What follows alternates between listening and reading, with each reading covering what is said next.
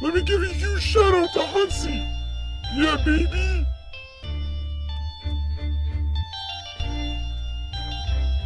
If you're going to the afterlife, you better look fly. We'll pimp your buying car and definitely not your ride. We'll soup your sarcophagus with frankincense and myrrh, uh-huh. so that will make that Egyptian cat My pimp.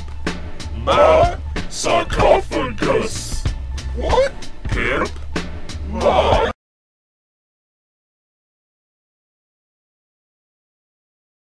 Sarcophagus. Before you're buried in the ground, you gotta buy something that's large and round to be buried with you while you laugh. The canopic jars, not the sky. P I M P M Y S A R C O P H August. P I M P M Y S A R C O P H August spells pimp. Sarcophagus.